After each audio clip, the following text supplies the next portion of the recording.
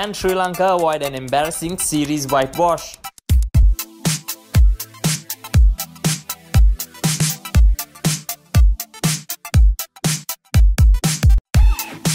The third and final test match between Sri Lanka and India will begin tomorrow, the 12th of August, in Pallekele. World number one India have already taken an unassailable lead of 2 0 in the series after two thumping wins in Galle and Colombo. The Pallekele International Cricket Stadium, one of the most picturesque venues in Sri Lanka, has not hosted India in Test cricket before, though the visitors have played an ODI and a T20 international at the venue in 2012, winning both convincingly.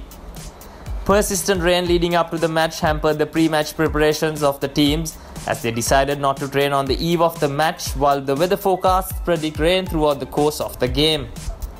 Fast bowlers Dushmantha Chameera and Lahiru Gamage have been added to the Sri Lanka squad to replace Sri Lanka's main spinner Rangana Herath and their best fast bowler Nuwan Pradeep who are both out due to injuries.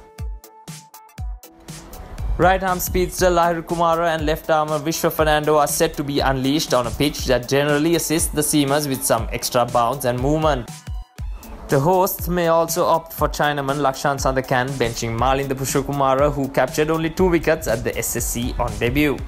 The probable 11 for Sri Lanka are Dimuth Karunaratne, Upul Tharanga, Kusal Mendis, Dinesh Chandimal, Angelo Mathews, Niroshan Dickwella, Dhananjay De Silva, Dilruwan Perera, Lakshan Sandakan, Lahiru Kumara and Vishwa Fernando.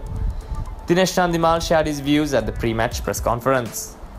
Yeah, as I said, you know, India is a really good team, you know, especially last uh, two, three years. Uh, but the thing is, uh, every time, uh, you know, the players, I mean, who are uh, performing well for, for my team, so they will get injured.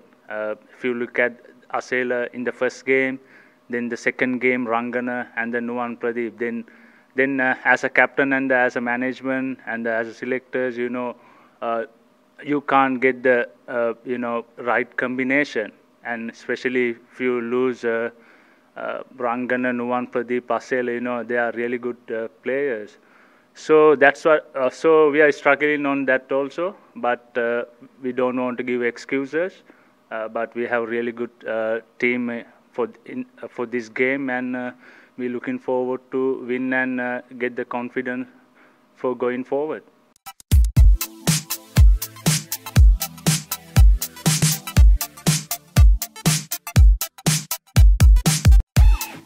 The visitors are set to make only one change after number one ranked test bowler and all-rounder Ravindra Jadeja was handed a one-match ban by the ICC following the second test.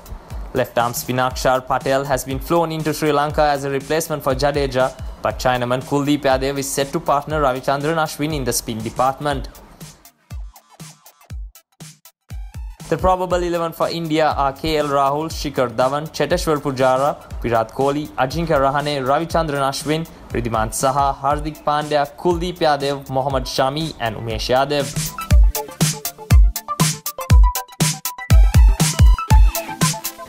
A 0-3 series defeat will be just the second time in the host's history that they've been whitewashed in a test series on home soil, going back to their first ever home series in 1982.